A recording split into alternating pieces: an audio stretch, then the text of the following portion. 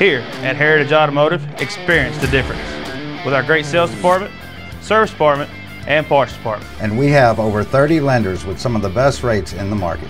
So whether it's routine maintenance, mechanical repairs, collision repairs, we're here to help. Heritage Automotive. Expect more, experience the difference. From the Tennessee Valley Weather Channel, this is your weather today. Hey folks, happy Friday. Hope you had a lovely week so far. It's definitely been a wet one, that's for sure.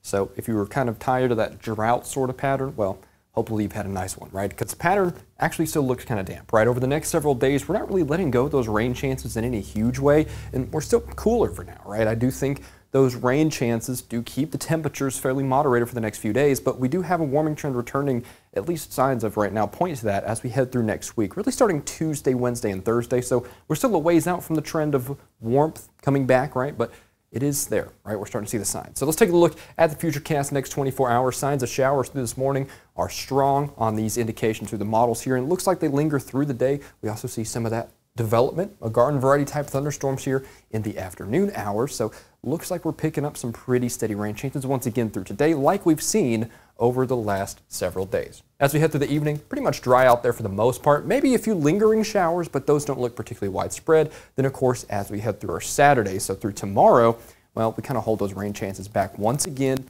That's the pattern for the next several days. We're kind of next to this occluded front. This has some moisture associated with it.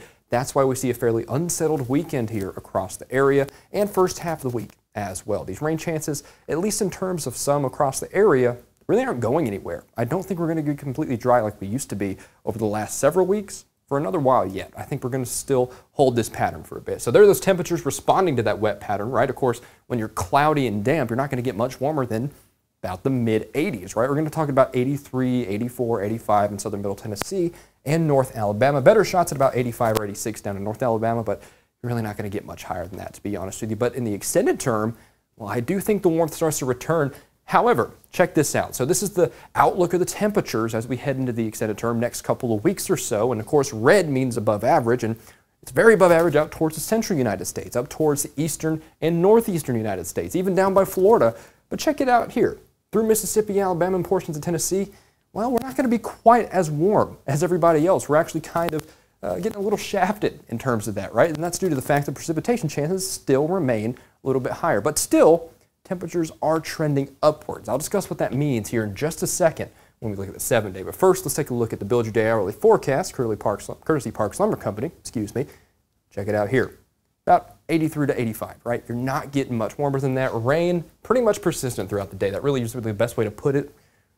A lot of us will see rain, not necessarily all of us, but a lot of us, right? It's the same pattern we've been in for the last several days and will be for the next several. Notice there, Monday, Tuesday, Wednesday into Thursday, that's that warming trend I was talking about. And, you know, it's not huge, right? We're not talking a 15 degree warm up back to 100, but we do get back to the lower 90s, so there is room for increasing those temperatures, and I certainly see indications that that is happening, but it's a long way yet before we get back to those true blistering temperatures. Of course, I'll keep you updated with that through the weekend, and Kelli and Fred will be back with you for the rest of the day today.